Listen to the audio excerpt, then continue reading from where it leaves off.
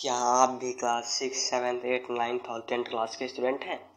अगर हैं तो क्या आपको भी वैलेंसी एटॉमिक नंबर याद करने में परेशानी होता है? और होता है तो आज में देखिए हमारी इस वीडियो को। इस वीडियो में हम आपको सबसे सरल और साधारण तरीका से आपकी समस्याओं का समाधान करेंगे। और सबसे आसान तरीका से आपको बतलाएँगे वैलेंसी और एटॉमिक नंबर याद करने का तरीका। वैलेंसी और एटॉमिक नंबर जो है क्लास टेंथ तक। आपको सिर्फ़ एक से तीस तक ही ज़रूरत है। अगर आप एक से तीस तक एटॉमिक नंबर याद कर सकते हैं एलिमेंट याद कर रहे हैं तो आपको एटॉमिक नंबर वैलेंसी याद करने में सबसे सरल तरीका है। जैसा कि आप मेरे डिस्प्ले पर देख रहे होंगे, एक से तीस तक एलिमेंट का नाम लिखा हुआ है।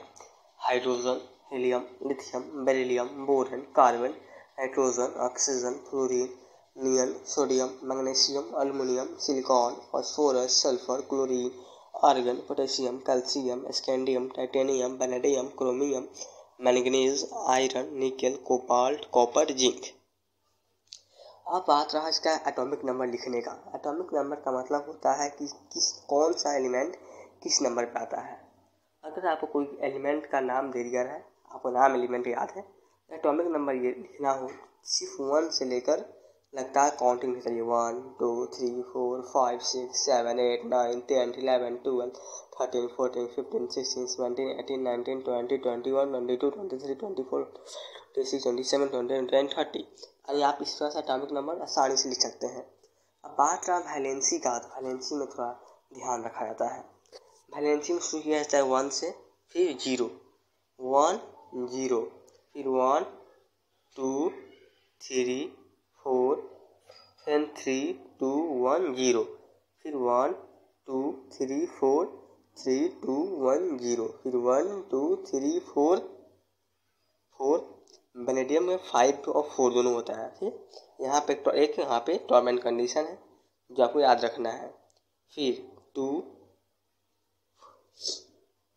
four three three two one two यानी आपको तेईस से सात तक आपको याद करना है और बाईस तक सिर्फ़ आपको एक सिंबल पे याद करना है।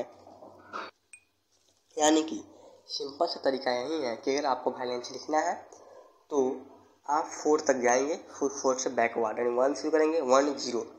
फिर वन से शुरू करेंगे, बैकवर्ड जाएँगे, फोर तक। फिर बैक वन से जाएँगे, फोर तक, फिर फोर से बैकवर्ड, ज़ीरो तक। फिर ज़ीरो शुरू करेंगे, फिर फोर तक आएँगे, फिर फोर से बैकवर्ड। यही नियम होता है वैलेंसी लिखने का।